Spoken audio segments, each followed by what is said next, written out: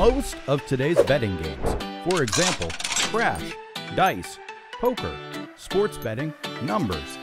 Use either fiat or virtual currency on the exchange to bet. It depends on a lot of financial proofs.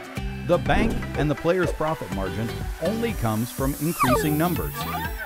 Thanks to the development of blockchain technology and free market trading, we created the Yo Token. Yo Token will be used in YoBet's game betting ecosystem with currency functions circulated in the game floor and traded freely. Yo Token will be the replacement for the old form of the game, bringing a new dimension to the world of people who love the games, generating greater profits from the token's worth of growth. Join the YoBet now.